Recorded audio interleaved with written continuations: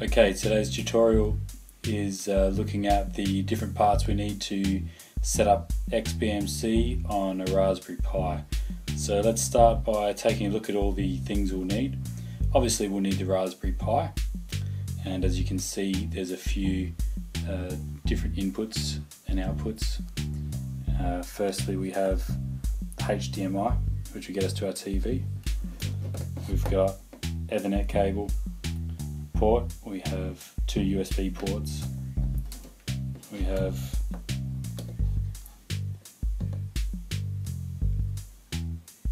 a 3.5mm jack and a video out. That's for those that uh, don't use the HDMI. And we have a slot for the SD card and a power slot there and please remember it needs to be a micro uh, USB for that one.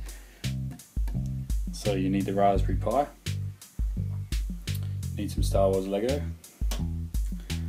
Okay, just over here we need to also have a power adapter. Take note of 5 volts and 1 amp max. It doesn't have to be 1 amp but uh, that's a standard phone charger. And remember the end has to be the micro USB. Okay, next up we have a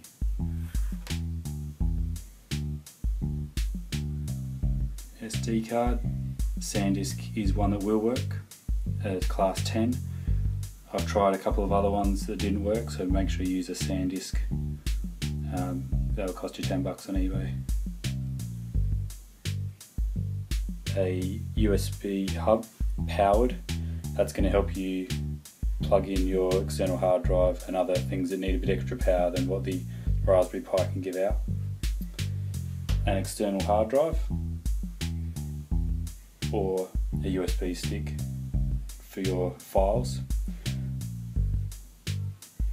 and if you want to get a bit fancy, instead of the keyboard and mouse, you can use a remote control. Also, keep in mind that you can use the XBMC app on your iPhone uh, to also uh, uh, use your remote as well. So, these are the things you'll need to get it started, plus a HDMI cable and a television. In the next clip, I'll uh, show you putting it together and uh, getting it started. Thanks for tuning in. Bye.